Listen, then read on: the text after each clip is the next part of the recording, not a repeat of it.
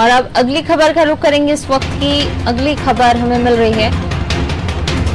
छत्तीसगढ़ में 24 घंटे में तेरह नए कोरोना मरीज़ मिले हैं। तो छत्तीसगढ़ में कोरोना का कहर पर एक बार बहुत तेज़ी से बरसा रायपुर में कोरोना के 748 नए मामले सामने आए। छत्तीसगढ़ में 16,520 एक्टिव मरीजों की संख्या पहुँच गई है। तो 16,000 के पार ये एक्टिव मरीजों की संख्या प्रदेश में अब तक तीस कोरोना संक्रमित हो चुके हैं। तो सात संक्रमित की मौत हुई है एक दिन में।